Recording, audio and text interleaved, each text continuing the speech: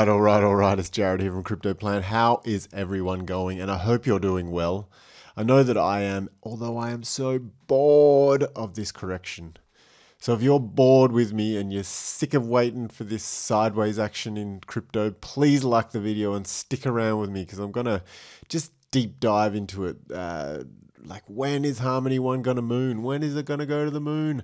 Uh, so hopefully we can find some answers today. But uh, if not, we can at least figure out what is going on. All right. We are on the Harmony One chart. We're on my kind of new chart setup. It's a weekly chart. It's a zoomed out view. It's just this is our this is our everything's okay chart. Um, we've got a 30 week moving average. We went well above that 30 week moving average, and we're correcting at the moment with the rest of the altcoins above a 30 week moving average, above an inclining 30 week moving average. So we're all good.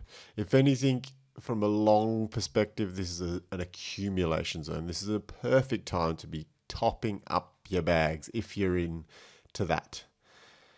But if not, you just got to hold on and wait, right? Now, we are still above, you know, we're still performing better than the S&P 500 at the moment. So that's a good thing as well. And from a relative strength index, RSI, we're about we're in the middle. You know, we we're not we're not falling off a cliff here. So there's there's nothing that's telling me that anything bad is going to happen in one harmony. But like, when is it going to moon? And unfortunately, I just can't see it happening. I can't see it happening soon. And because of this one indicator, volume. Look at volume. It's like there's no buyers or sellers. You know, three days to go in the week, and we're not even a third of the volume of last week, which was, you know, a fraction less than the last week, which was half less than the week before, which was half less than the week before, which was a big selling week and buying week. So I just think that the, the market is exhausted.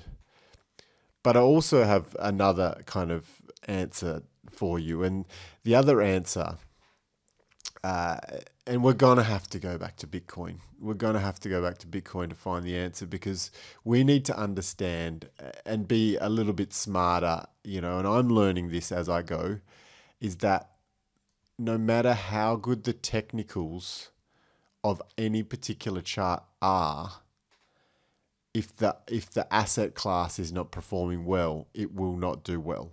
So, you know, and and like it or not, Bitcoin is the asset class. Bitcoin is the, the leading indicator for the asset class.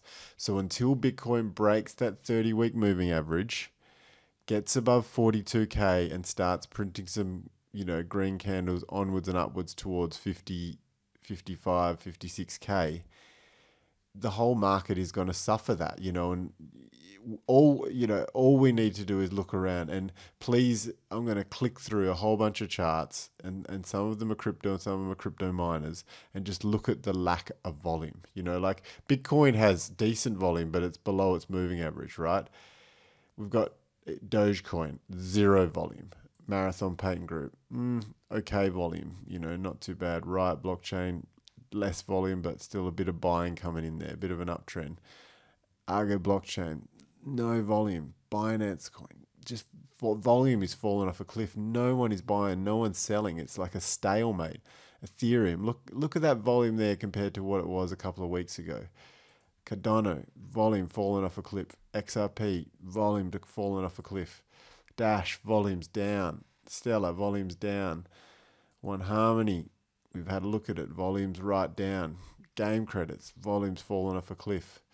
Peercoin, volumes down, you know, like there is just no participants. There's no activity. Like everybody's sitting in cash or everyone's waiting or everyone's just holding and everyone's waiting for everyone else to buy. Like I think we need new people to enter the market and I think the best way to excite people into the market is when Bitcoin attempts to go on a new time high again, you know, new all-time high. When Bitcoin you know, proves that there that it is going to 100k. Because at the moment, it's all speculation, right? And you know, I've got I've got a series of targets here, and I've got you know anywhere up to 98,000, 100,000, and then I've got my 200,000 target, and then you know there's clearly you know, a stink bid target there of 500k, which is probably not going to be in, in this cycle. But you know, from a stage analysis, that's where where it's heading to, and everyone knows that and everyone believes that. But the price needs to do that, and I think the price action activates market participants. You know, like people unfortunately don't enter the market here because it's fearful they enter the market here because they're greedy. They're like, oh, it's moving, it's moved so far. I want to get in there, you know, and they they miss out on that profit. But you know what? The from a risk perspective, what I'm learning is they they these trades are less risky. You know, if you to catch it at fifty nine thousand to hundred thousand is less risky than kind of sitting down here for ages and having that opportunity cost of your money you know time chewing away.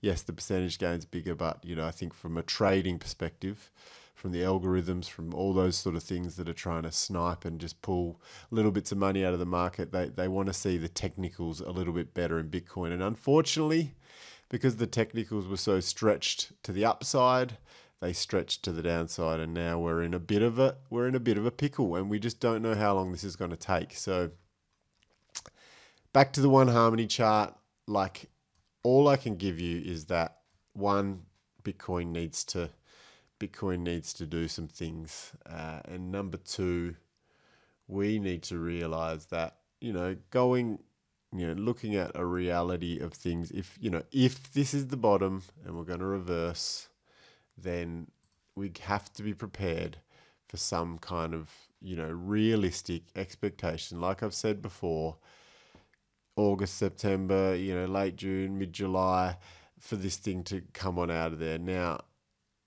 you know, that that's that's me kind of saying worst case scenario, I believe and I want one harmony to break out earlier and, and kind of go. And I think it will be one of the leaders when it does. But at the moment, I can't give you anything else. Like the market is just seesawing whipsawing up one day, down the next, because there is no market participants. You know, everyone's kind of in, out, in, out, waiting, you know, kind of just not much going on. There is not much going on, and I, there is nothing to report. And hence why I've been doing a lot of these uh, mining stock videos, which get no likes and no views. But hey, uh, one day they'll get views because the, the market will be switching, looking that direction very soon. But you know that's why I'm doing them because there's action over there. You know, there's action in other charts. There's action in biotech. Right now, there is no action in crypto. Doesn't make for very good YouTube content.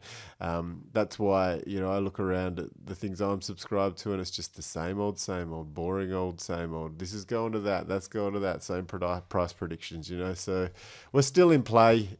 One harmony is going to go to a dollar. We know that. We're happy with that. That's you know that's that's our safe bet. You know, eighty cents to a dollar. I want to see it go to a dollar eighty, and any further than that is going to be a super duper super duper happy moment for for any of you large hodlers out there. But what can I say? We need volume. The market needs volume. The market needs participants. And um, do you know what? Like, if if I can give you anything, the only thing I have seen, which is a little bit crazy, is this Frontier or what is it? Front Front USD coin uh, bit of a DeFi coin. Um, if we go to the daily, you know, it's got volume for the week, but was that just a bit of a pump and dump on that day? I don't know.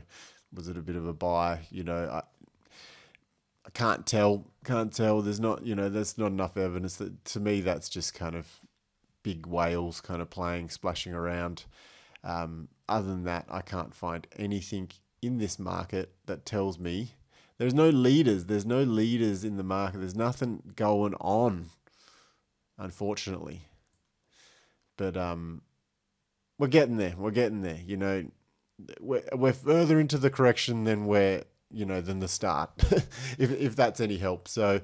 Anyway, I've been Jared. This has been Crypto Plan. I'm sorry I can't give you any major updates of when Moon, um, but yeah, please like this video because we we will I will give you the hot news when I see that volume churning up and when I see the indicators kind of tipping positive. So, yeah, like and subscribe and all that stuff. And I'll catch you on the next one. Bye now.